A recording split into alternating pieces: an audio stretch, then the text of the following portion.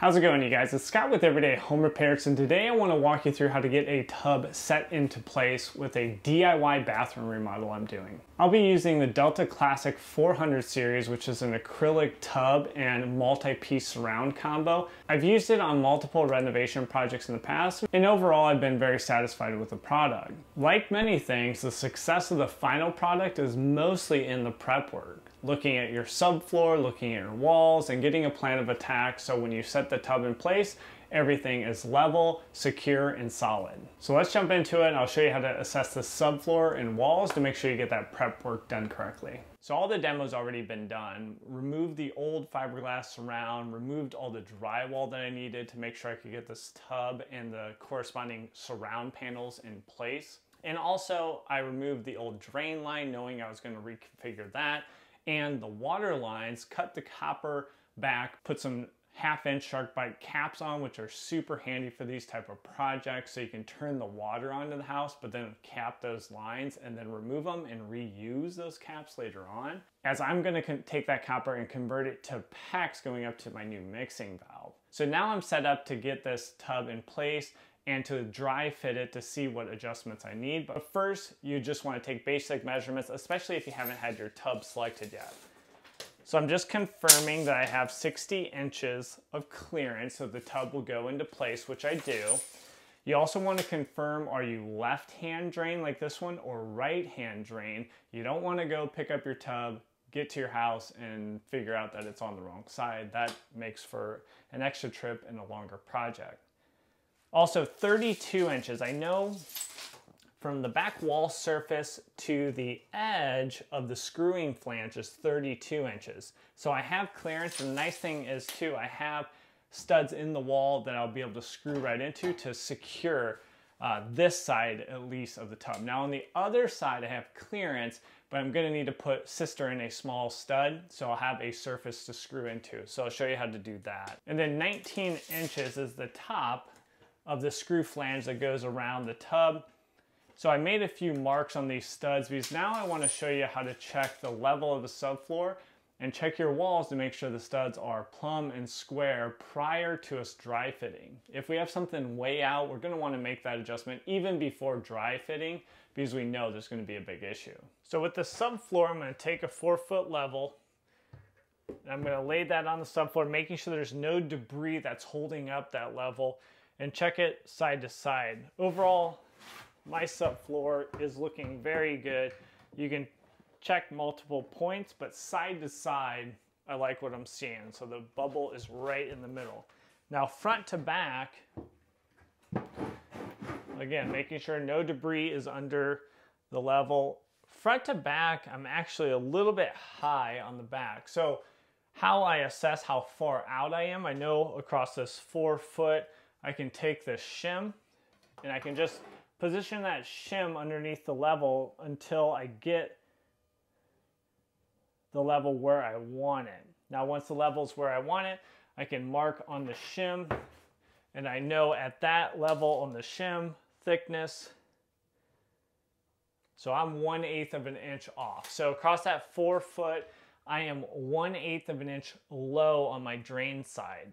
Now that's right on the borderline. I'm still going to dry fit and I'm actually gonna go down in the crawl space, poke my head up through the hole for the plumbing access and see how the base on the acrylic tub, it has a honeycomb mesh for a base, see how that's sitting on the floor and what I don't want to see is any gaps. If there's any gaps, what I would need to do is a bed of mortar to kind of build that up so I can get a level tub. But kind of right on the borderline and I'm gonna need to dry fit to see how it's looking. So now for our walls, we wanna do checks with a square and that same four foot level. This is the wall that's on my drain side. I wanna take that level and go across as many studs as I can. And what I'd like to see is that all the studs are hitting the level. The level's not rocking back and forth like this where one of the studs is holding it out or that one of the studs doesn't have an air gap where it's offset into the wall. If that was the case, I would have to make some adjustments. And then we'll talk about those adjustments and what options you have in just one second. So once I've done that check, I also would like to put the level vertical on each one of these studs and check that the bubble is in the middle for to make sure they're plumb, to make sure they're perfectly up and down in the vertical direction. And overall, I like what I'm seeing on this wall. So this wall is a great baseline for me. I like the positioning of this wall. It's plumb, all the studs are in the same plane. So now I'm gonna take my square and I'm gonna go to my 19 inch mark. That's my screw flange for the tub. I'm gonna connect up with three studs here and then place that on the back wall at this 19 inch mark. And I can see that these two studs here are gonna have a little bit of an issue. I have a gap back here, so either this stud is set back in or this stud is crowned out and I have a bit of an issue. Again, I can take that shim and I can quantify that issue by sticking the shim down where it hits. And then again, this is gonna be a little bit less than an eighth of an inch just going off of the measurement we did on the subfloor. Not terrible, but something I'm gonna have to at least shim out or make some small adjustments for. So what options do you have when you need to make adjustments? I'll take this small 2x4 as an example. If you had something set in and you need to get your stud surface out, you can sister in a new stud. That usually would go the length of your wall, but you would get this outside face of this new stud where you want it, and then you would attach it to your existing stud and that gives you your new surface that is now in the position that you want it. Alternatively, if you have a smaller gap, you can get a furring strip. Now I wouldn't buy these. What I usually do, uh, especially if I'm at the job site, I just have my circular saw. I actually take a set of vice grips. I put those on the guard for the circular saw at the dimension I want, and then I rip down a furring strip. For instance, this one's set at about a quarter of an inch, and this might be what I'm gonna need here for the corner piece, where then I would just take some brad nails, brad nail that in place, and now my outside surface is where I want it by use of the furring strip. Now, if you have a very small gap, then you might be just using some simple shims, uh, like a plastic shim like this. So you have a few different options depending on how your wall surfaces are and how far out they are. But overall, my walls are pretty good. I'm gonna have to make some small adjustments, but I do want to at least dry fit the tub to get a better assessment and see how the tub's sitting in in terms of level side to side and front to back. But for the Delta Classic 400 series, there is one step you need to do before dry fitting. So let's jump out and do that step and then dry fit our tub. What I wanna do is install what's called the apron support. So that's just gonna connect this base structure to this flexible apron. Without it, the apron really has no structure. So I wanna let the adhesive set up to make sure it's ready to go before dry fitting it in place. Then I'm just gonna lay down a generous bead of adhesive to the front edge here of the support.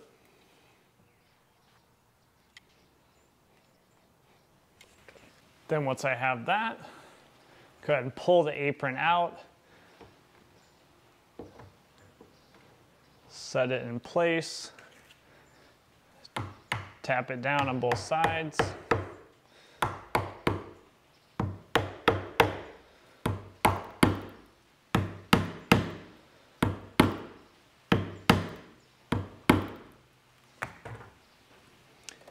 And then press it down a little bit on that front edge.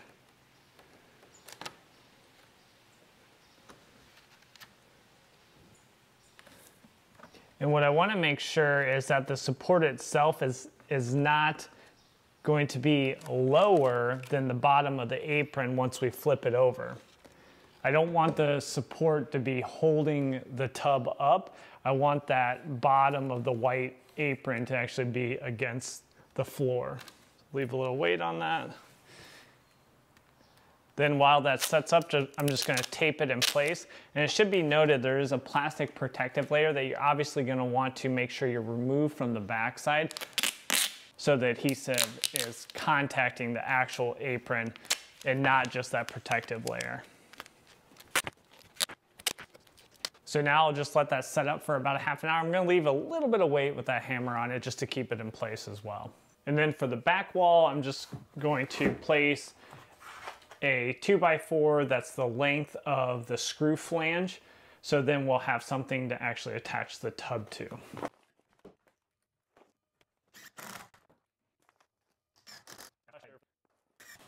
So I'll take my time and set the tub in place. I'll start by positioning the back and kind of lowering the front drain side in. Now be careful, right? We just set that support so the apron you want to be a little bit careful with so you don't pop that support off. Like here, the front side apron is getting caught on my drywall. So I'll have to adjust it a little bit to make sure the tub can completely set in place. And now you probably want to step inside the tub so you can feel it out, feel the base. But there is, on the original box, there's a protective insert. So you can cut that out, set it in place if you're going to keep your shoes on, or just walk around with socks so you don't damage the finish. So now with the tub in place, and make sure you it's not hanging up on anything, make sure it's in its final destination. Because we're going to want to, again, check for level I go to the top of that flange opposed to the surface itself, just in case the design of the tub has a small slope to it to drain water. And I'm seeing the same. So the subfloor, one eighth of an inch basically lower on the drain side is, is translating up to this rim as expected. And then I can go off side to side flange, just confirming that it's looking good again as expected because the side to side was was level for our subfloor. Now as expected I have a small gap really just at this stud here where I most likely will use a shim and then on that corner stud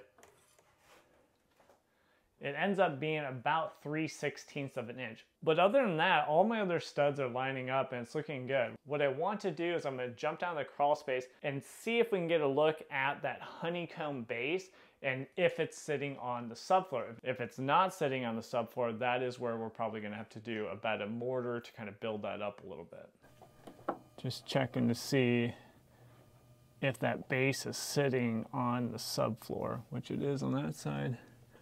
Take a look at the other side. That is encouraging. It looks like it's sitting right on the subfloor, so that looks good. All right, next up, we'll remove the tub again. I'm gonna make a little bit of adjustments to the wall, but first I wanna make up my drain and my overflow pipe by just setting it up in the room here because I did get a kit and you can see that link in the description. It just comes with the pieces and then you need to cut your PVC Schedule 40 PVC pipe to length.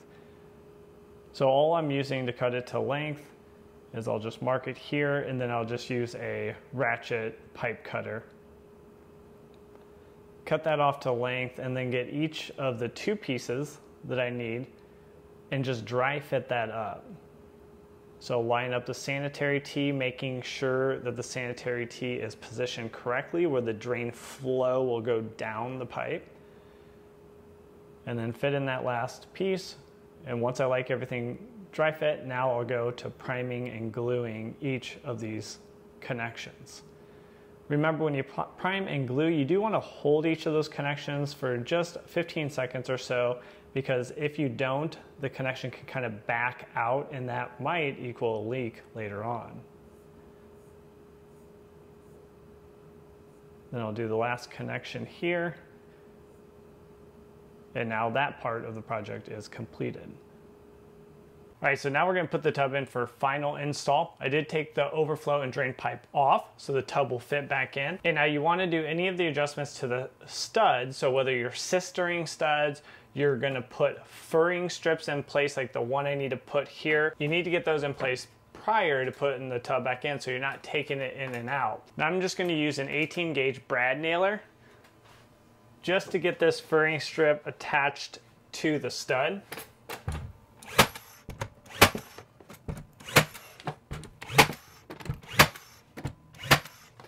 Nothing too fancy, you just want it to be able to space out and then we're to sink the screws into the actual original studs for the secure hold of the tub. Okay, tub is in place and now I'm ready to secure it for the final install.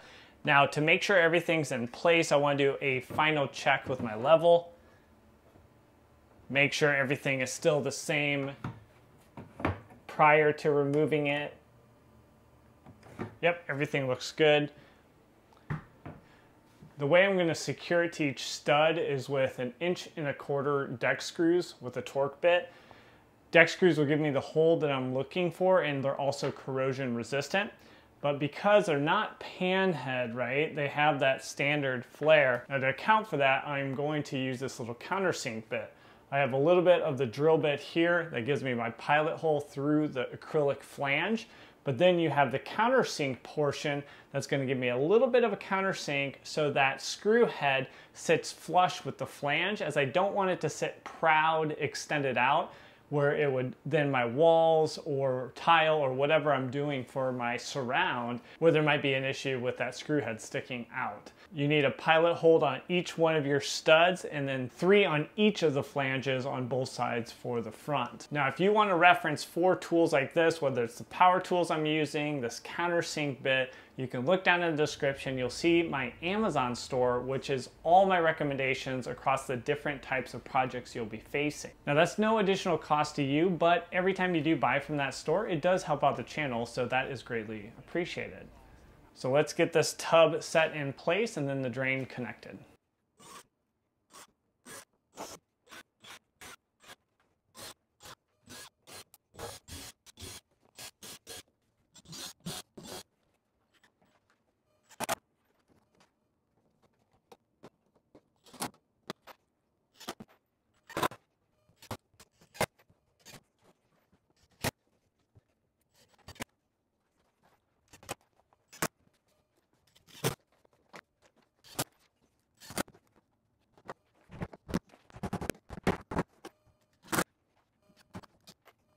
So with the tub secure, now I want to get my overflow and my drain connected up. Now I'm going to feed this back below the wall, get it in place, and then first get the drain set up. So before tightening my overflow, I want to get the drain where I have my gasket. Now this is going to be coming up from the bottom. Then you have the tub surface. And then we're really screwing it down here with this basket and then I'll have actually 100% silicone on the bottom side. I really like plumber's putty, but a lot of plumber's putty will stain the acrylic, so 100% silicone is what we're going here. I'll tighten this up first because this is the source of leaks if you don't do it right. So we'll get that tightened up and then we'll go ahead and put in our trim piece for the overflow.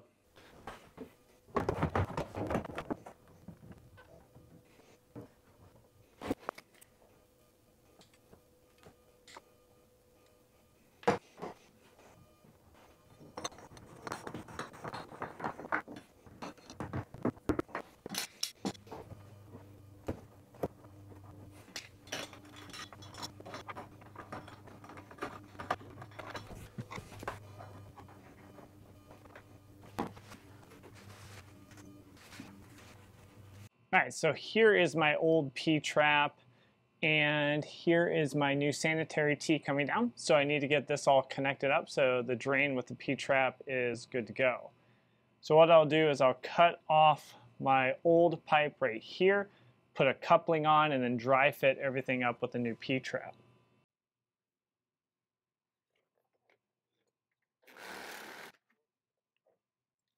All right, I'll deburr that and now start to build things back up. So that's that new coupler going in, a long piece of 40, uh, schedule 40 PVC coming out of the sanitary tee. Now I'm getting my measurement going into my new P-trap. Once I got that, then I cut it with that ratchet cutter again. And then I want to get that measurement between the P-trap and the new coupler. Got that piece. Now dry fit everything up. Now if everything looks good and I like it, now I'm going to make a plan to start gluing.